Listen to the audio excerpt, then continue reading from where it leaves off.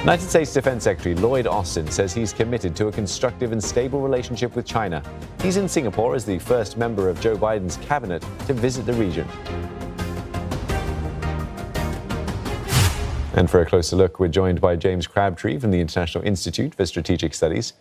Uh, James, firstly, Lloyd Austin says the Indo Pacific is a priority. That's a marked change from the previous administration, isn't it?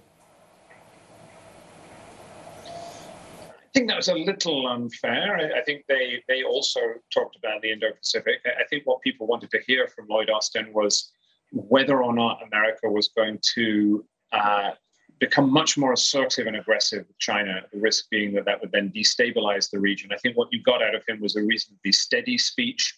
Uh, he talked about the fact, as you said, he wanted a constructive relationship with China, but he talked about some of the problems China's creating in the region, the genocide in Xinjiang, the problems in the South China Sea. Um, and he talked a lot about friends and allies and partners, particularly here in Southeast Asia. And he talked a lot about COVID 19. So I think, in a sense, he was giving a speech that he felt the region wanted to hear, and particularly here in Southeast Asia. James, the Pentagon chief says that he wants a stable relationship with China.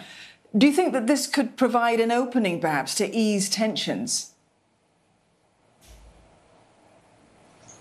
I don't think so. No, I think that's quite unlikely. I mean, you know, stranger things have happened, but um, I think at the moment America is on a path for more competition with China. And the question is, well, how pointed is that competition going to be? So there were questions asked this evening about Taiwan, uh, which the secretary dodged, um, or he didn't answer the question as to whether or not he agreed with others in the American military who've talked about a potential conflict over Taiwan within the next five or six years.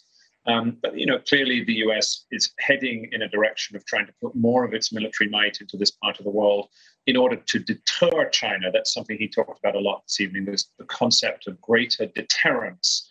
Um, and what really that means is a, is a military buildup in this part of the world in order to, to make China think again about any uh, more assertive action. So I think a rapprochement, no. What we're watching to see is in a sense, how tough is America going to try and be with China?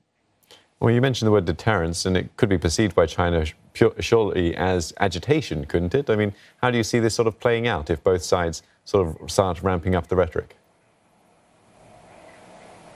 I think that's exactly how China will see it. So when America talks about what it calls integrated deterrence, which means not just using its army and its navy uh, and its air force, but also cyber and space and other um, ways of, of trying to deter China from doing anything too expansionary, then yeah, China sees this as unnecessary escalation of hostility, of trying to contain China. Um, and so, you know, that's the game that the two superpowers are playing. The trick for countries in Southeast Asia is actually you know, some countries in Southeast Asia don't mind this. They, they actually quite like the idea of America playing a balancing role in the region, but they just don't want them to do it in a way that is too provocative so that the Chinese end up reacting. Um, and so that is the very delicate balance that America is trying to play in the region. There is certainly a delicate balance, but there doesn't seem to be any uh, potential for an ironing out of differences between these two superpowers, James. So, what is at stake for the countries in this region?